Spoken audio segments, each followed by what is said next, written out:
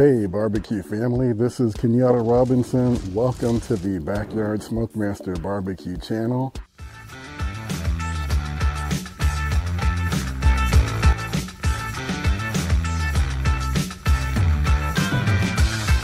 Around a month ago, a company called Smokin' Pecan started showing up in my Facebook feed, and I have never heard of this company, but what they were pitching caught my interest. As you see here on the box, it says 100% pecan shell pellets. So I reached out to them to ask if they would be willing to send me a sample, and they readily agreed. And they sent me this box this 20 pound box so that I could check their product out. There are no strings or conditions attached. They just sent the box to me and then they just asked me to let them know what I thought about their product. So I'm gonna take a look at it and form my own opinion, positive or negative everything is just going to be coming from my own opinion. Now, let me tell you why their ads caught my attention, and I'm just going to read this straight from the back of the box. It says 100% natural pecan shell pellets.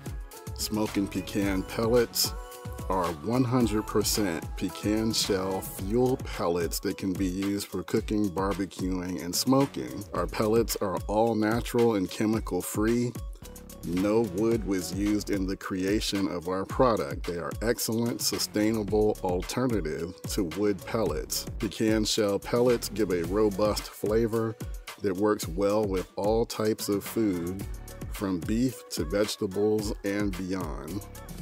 Get inspired and fire up that smoker. And then I see at the bottom here, it says patent pending. So I'm gonna get this box open and get my first look at what these pecan shell pellets look like. There's a look. I mean, they look just like your typical pellet, but they definitely, the color has a different look to it. Definitely much darker. You know, it looks like an actual pecan. So what we're gonna do today is we're gonna compare how the smoke flavor is. I want to see if I can tell the difference between the smoke flavor generated by these pecan shell generated pellets versus the typical pellet that you get from other companies. And one of the challenges that I've always had with pellets in general is that it's very difficult to know that you're getting 100% of the flavor that's described on the box. Most of the pellet companies use oak or alder wood as a filler. So usually when you get pecan pellets from other companies, it's usually going to be some type of a blend. And the challenge is we don't know what percentage of the blend is comprised of pecan wood. We don't know if it's 80% pecan, 60%, maybe it's only 10%.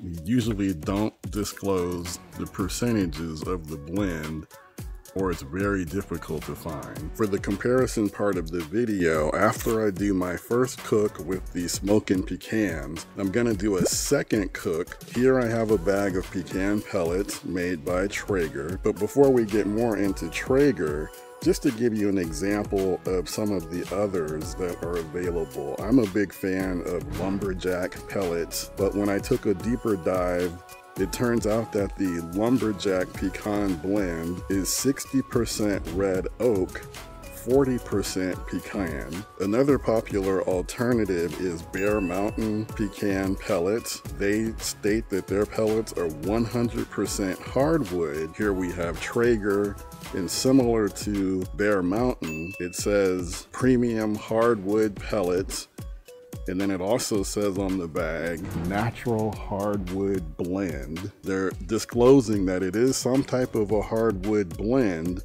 but they're not stating what that blend is. Let's take a look at the back of the bag. Flavor matters. Wood isn't just the fuel, it's the ingredient. When you choose Traeger, you're getting the most trusted hardwood pellets in the market.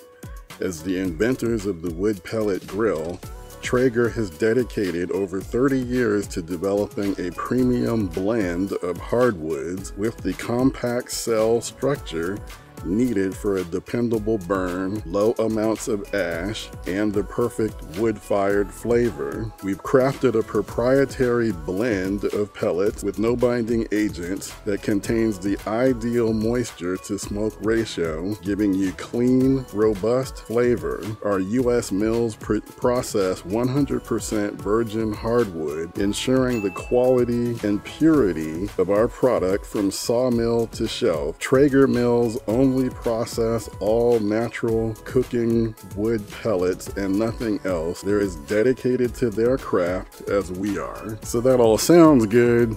But again, we don't know what the percentage makeup of the blend is. For the sake of comparison, here's a handful of the smoking Pecan and Traeger pellets. And you can clearly see one is considerably darker in color than the other. The smoking Pecans, more of a darker brown that resemble the actual color of pecans, which they should since they're made 100% from pecan shells, while the Traeger pellets pellets are considerably lighter in color. Another thing that caught my attention, some of the Traeger pellets are pretty long. It's always been my thought that sometimes these really long pellets might actually get stuck in your auger. Now looking at the Smokin' Pecan side, I'm trying to see if I find any really long ones, and I'm not. I'm really seeing more kind of a medium length along with some short ones. Also have some some short ones and the Traeger handful. I mean, some of these are like so small, so tiny. You wonder what kind of smoke do these little itty bitty pellets produce? I don't know. Just to give you a rough idea. So let me know in the comments what you guys think about the length of pellets. Is there an ideal size? For the comparison today, we're gonna do smoked pork belly burnt ends. It's my wife Janine's pick. It's one of her favorites. I'm gonna do two cooks, both on my MAK One Star General pellet smoker.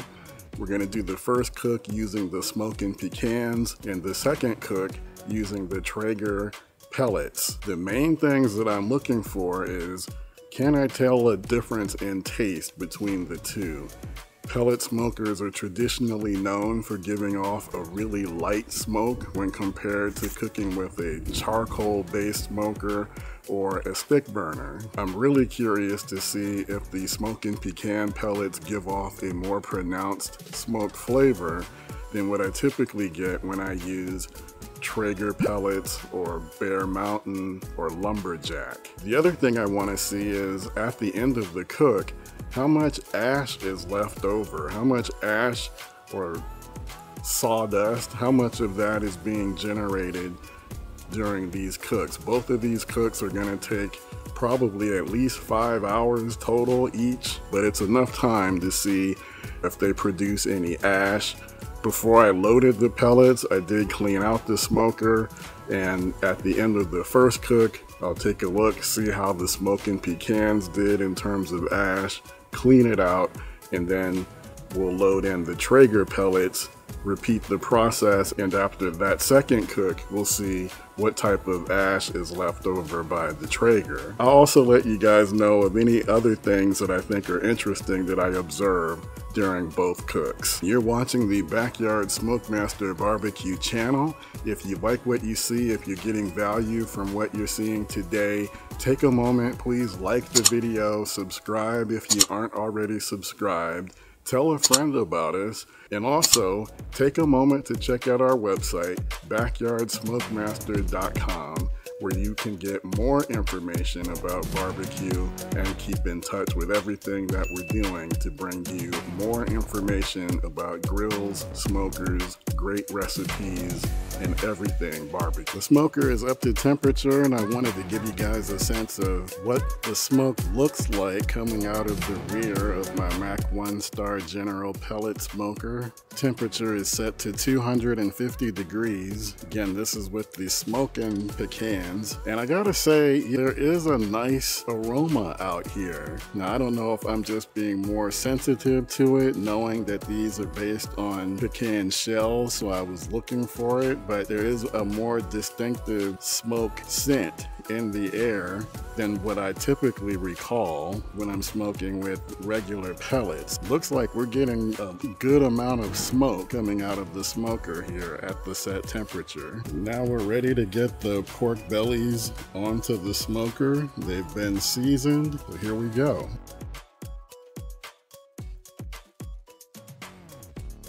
Using aluminum pan to catch some of the drippings. And we'll let these go for two hours before I hit the next phase. This is a look at the ash that's been left over. So basically this was a four hour and 15 minute cook.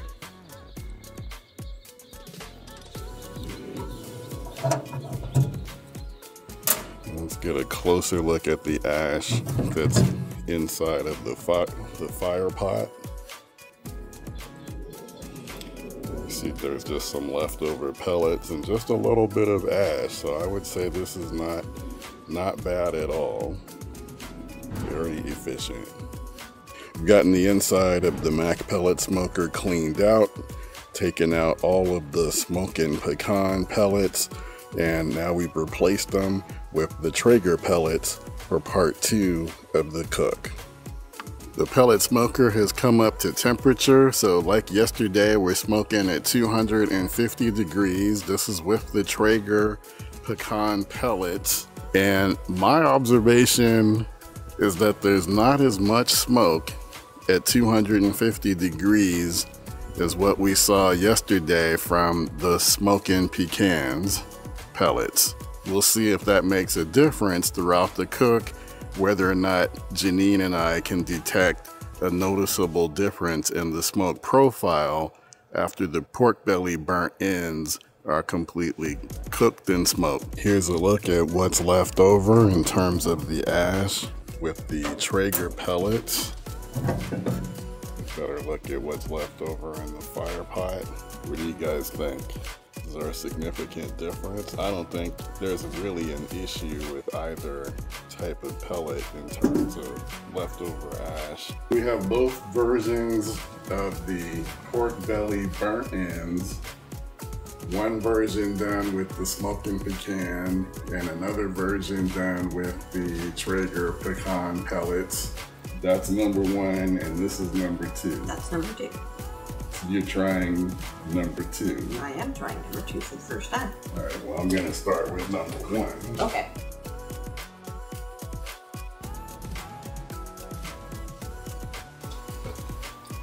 Good. So this is number two. Yes. And back on number one. It's It's close. Okay, so for me, I feel like one has more flavor and two is kind of good. It's close, but I think two is a little bit less. That's my what do you mean by more the smoke. more smoke flavor? Absolutely. Right. Yeah, That's me. Uh, that's what I taste when I taste it.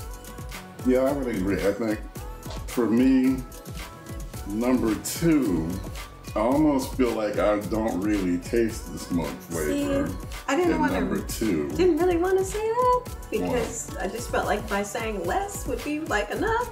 But yeah, it's kind of not there. well, yeah, no, I was gonna just say, you know, because we've been cooking with, you know, charcoal Yeah. and stick burners. And that and that brings it. it definitely has a more prevalent smoke flavor. Yeah. And yeah, I don't really taste the smoke flavor on number two. It's not slight a slight difference, like it's just it's a clear difference. Right. I agree. All right. Yep. So So I think your your test was a success. You can definitely taste the difference. So which one was one and which one was two? okay, so as a recap again, one of them is with the smoking pecan pellets, which are made from the pecan shells. Mm-hmm. And then the other one is the traditional pecan pellets, which I talked about earlier in the video, could be some type of a, a blend. Okay, well, well, which one do you think is the smoking pecan? I think it's this one, number one. Because you're thinking that Mm-hmm. being made from pecan shells is going to give more of a wood flavor. That's my working theory. Could be wrong, but that's my working theory. You're wrong. Oh! No, okay, no, I'm, I'm just kidding. I'm just kidding. Number one, number one is the smoking pecan. Number two is the Traeger, Yeah, uh, Traeger pellets. it's it's worth it, I think, to go with the true pecan all the way. There, there, there's something definitely that it's bringing that's different than the mix. The mix is just not enough. I think, well, and I think that's kind of the downside of, of pellets in general is that Yeah. you know they're they're made from I believe it's like compressed sawdust. Yeah. So it's not really as robust as what you would get from wood chunks or obviously from, you know, wood splits. I think the Smoking Pecan uh, company, I think they're on to something. Yeah, I do too. I, I think, think there is a, a good, prevalent, detectable difference Yeah. in the smoke flavor between what they've put out yeah. and the typical pellet. That's just our opinion based on doing one taste test. Everything else is identical, cooked on the same smoker, same recipe, Season, same. seasoned the same way, glazed the same way. The whole thing was identical except for the pellets. Let us know in the comments what you think. Have you tried smoking pecans? If you have, let us know what you think and how they compare to the traditional pecan pellets. Oh, and I would say, if you haven't tried them, it's worth the look. Definitely worth the look. Yeah. Thanks again for joining us on the Backyard Smokemaster Barbecue channel. If you haven't already, like the video. If you got value from it, please subscribe, tell a friend, and leave a comment. Take care. We'll see you soon.